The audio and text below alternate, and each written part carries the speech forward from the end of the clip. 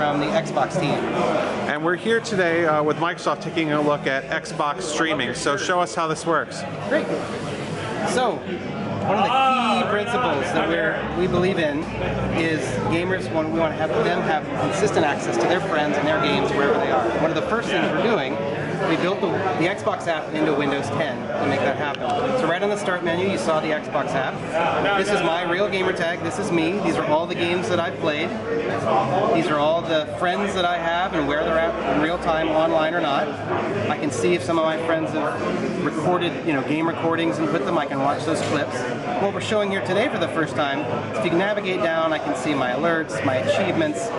This is connected here. There's this idea that we we want to unlock those games on the Xbox One from having to be only played in the living room, kind of under the TV, and make those available to any Windows 10 device. So by simply selecting the console, you see my Xbox One here. I'm going to click Stream, and they happen to be sitting next to each other. But imagine this in a home environment where one's upstairs, one's downstairs. Paul's got the controller connected via USB, and he's actually playing Sunset Overdrive streamed from the Xbox One on my Windows 10 PC on my Surface Pro 3. Wow. It's the full fidelity experience.